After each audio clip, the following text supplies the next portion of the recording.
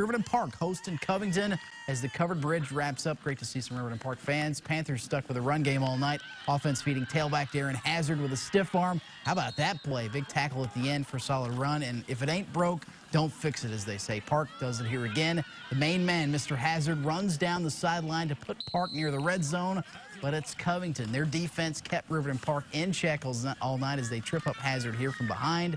It was not Riverton Parke's night.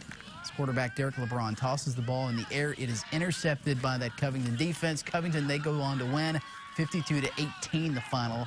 We are football in the regular season in Parke County tonight, Omar.